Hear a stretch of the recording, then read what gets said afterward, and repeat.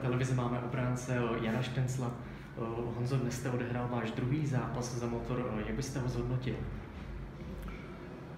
Uh, no, těžká otázka. Uh, ten zápas se z začátku eh, nevyvíjel podle našich představ. Ne, nehráli jsme úplně naši hru, kterou, kterou jsme měli naordinovanou. Bohužel nějak nám měli první polovinu utkání nohy a, a soupeř toho celkem dokázal využít. Pak jsme se ale, ale myslím si zvedli a, a utkání bylo velmi vyrovnané. Bohužel zase rozhodl jeden, jeden gol, který dali oni navíc a, a proto, proto jsme prohráli. A vy jste odehrál zápas v obrané dvojici o, s Ondřejem Slováčkem. Jak vám spolupráce s ním sedí? E, jako za mě super, my se známe, e, známe ještě z Ostravy, takže vlastně i ta komunikace mezi námi je parádní a Ondra je výborný bruslář. A teďka si myslím, že, že má celkem formu, takže pro mě je ideální parťák a jsem rád, že mě podržel. A jestli se nepletu, vy jste spolu hráli v juniorce ve Vítkovicích v sezóně 2013-14. Vzpomínali jste třeba na ta léta, když jste se sešli oba takhle tady na jihu Čech? A ještě k tomu nebyl, nebyl ani prostor, ale samozřejmě nějaké eh, víme, co, co jsme spolu odehráli, že, že to byly dobré roky a zase je dobré, že jsme se potkali právě tady a, a v jedné léně. A vy jste moment, kdy jste odcházel z Vítkovic, popsal eh, jako nečekaný, jako šok. Došlo potom ještě ze, eh, ke vzájemné komunikaci právě s vedením klubu? Objasnilo vám, proč, proč se rozhodlo tak, jak se rozhodlo?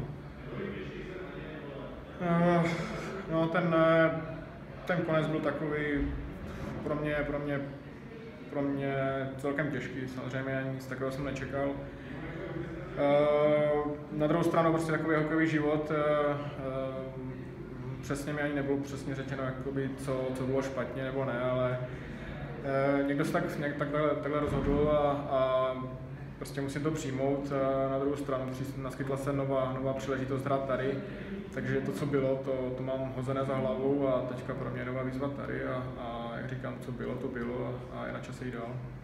A vy, jak už jsem říkal, jste odehrál dneska druhý zápas za motor, eh, jinak jste s klubem docela dlouho už trénoval. Eh, tak jak vám to tady zatím sedí na Čech v motoru? Uh, tak eh, samozřejmě začátky jsou těžké, jelikož v průběhu rozjeté sezony nastoupit do, do rozjetého týmu, který už má nějaké ty eh, vazby, co se týče třeba obraných dvojic nebo, nebo nějakých přesilovek, tak uh, není to úplně jednoduché zapadnout. Uh, myslím si, pro hry to je těžší, těžší najít nějaké ty, ty herní variace a varianty, ale uh, já musím říct, že kluci mě přijali parádně, že, že se tady dobře. Jak říkám, akorát je, mě mrzí ty zápasy, no, že, že se nepodařilo něco vyhrát teďka, že ta atmosféra by mohla být lepší, ale jak říkám, ještě, ještě kupa zápasu před námi a, a musíme jít zápas od zápasu, ať, ať vyhrajeme nějaký, ať, ať se můžeme konečně odrazit od ničeho, ať, ať taky ta mentální stránka se otočí na tu kladnou stranu. No, tak my moc děkujeme za rozhovor a ať to příště vyjde. Děkuji.